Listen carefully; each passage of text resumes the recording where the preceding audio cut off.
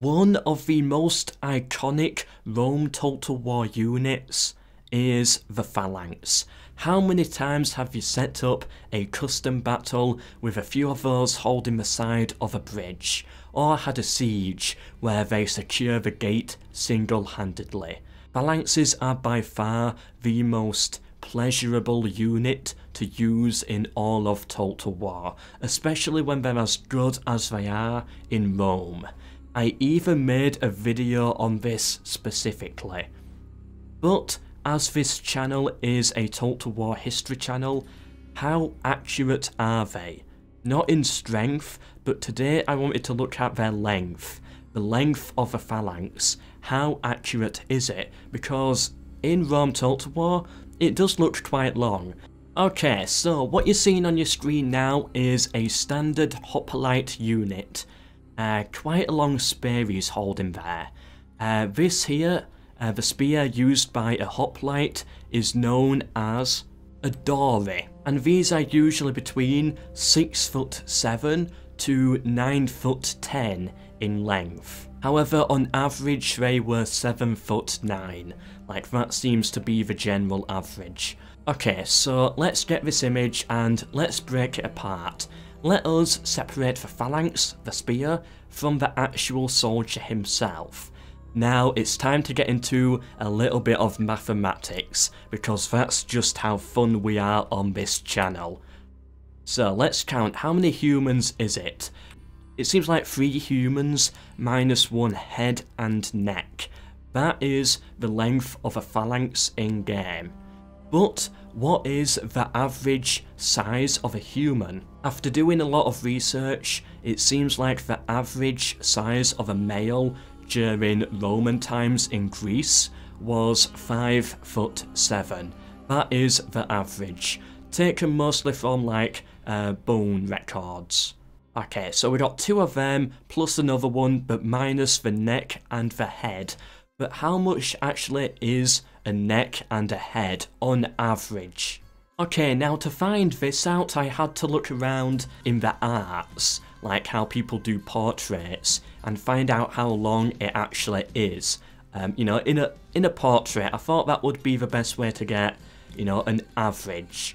Uh, because this was actually very difficult to find. This is the best source I could find. It's one foot one and a half, but we'll ignore the half. We don't have to be too perfect here. So that's one foot one, which ends up giving us four foot six for this man here. So if we were to add all of these together, all of these men on top of each other, 15 foot 8 is what it comes to. The phalanx in Rome Total War for Hoplite, the length of their spear is 15 foot 8. Now the absolute longest, remember, were 9 foot 10. Those were the longest. Average 7 foot 9. So this is oh, this is over double the length of the average length. Okay, after doing a lot of research and even measuring on myself, 2 foot 2 is roughly the length of the legs. Uh, actually just probably a little bit lower. It's always difficult to tell, you know, this is not going to be perfect, but I'm trying to get as close to perfect as I possibly can. Okay, so what I did was I copied a copy of the spear, uh, but cropped it down to be the exact same length of these two people here standing up, who represent 7 foot 9 in game. Then what I've got to do is I've got to make this person hold the spear. The spear's bottom is here, near the human's bottom, which makes it easy to remember. And if we do this here, this is a 7 foot 9 spear. This is how long it should actually be in game. In game it's actually up to there. So yeah, quite a big difference. For those who are curious, the front line of the spear, uh, well the back line is there, the front line does end here, it should actually end here. And then the second line should end about here, third line end about here. That's how it should be in game, about half the length when it comes to hoplites. But in Rome Total War, there is a unit with an even longer spear. These are known as pikemen, um, who as you can see, theirs is much longer. What these are called here are the sarissa, which average between 13 feet and 20 feet long. So yeah, let's go through this again with the same measurement. Um, I'm going to assume here that a Greek person is the same height as a Macedonian person. At the time, you know, they're close enough. So let's assume they are 5 feet 7, and this time it's 3 people, plus a fourth, minus the head. If we were to add all of these up, that is 21 feet 3. 21 feet 3 is the length of this pike. Now, if you remember what I said, the Sarissa, the average length is 13 feet to 20 feet. That is the average. So this being 21.3 feet, oh sorry, 21 feet 3, I don't work in feet, I'm used to centimetres. But this being 21 feet 3 is not actually that bad.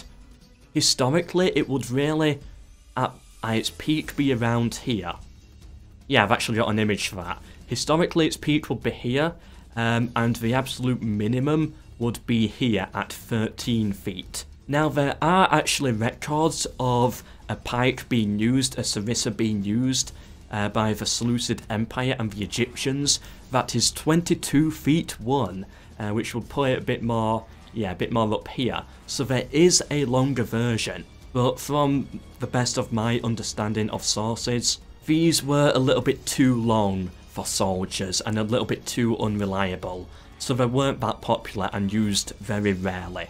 So yes, there you have it.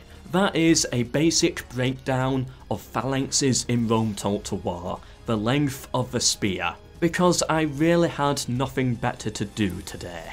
If you enjoyed this, please do let me know. Please do like the video, share with someone else, maybe even subscribe. If this does well, I'll do the same for Medieval 2, maybe even Rome 2 Total War. See their lengths, how accurate they are, and compare it to Rome 1. If you want to see that, of course.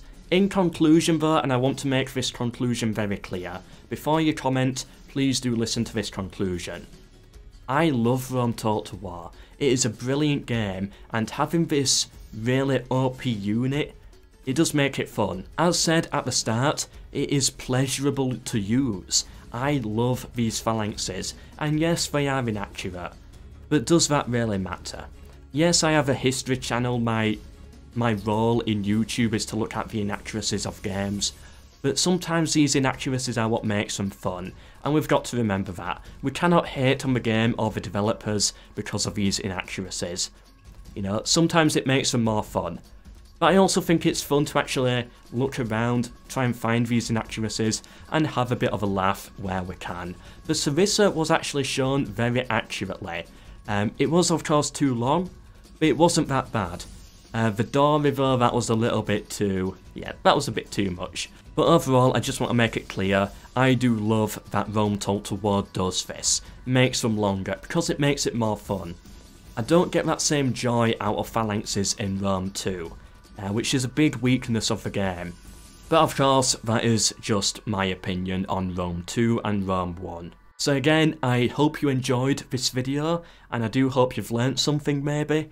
Uh, that's what this channel is all about. Uh, please do subscribe for more. I've been Melkor, and until the next one, goodbye.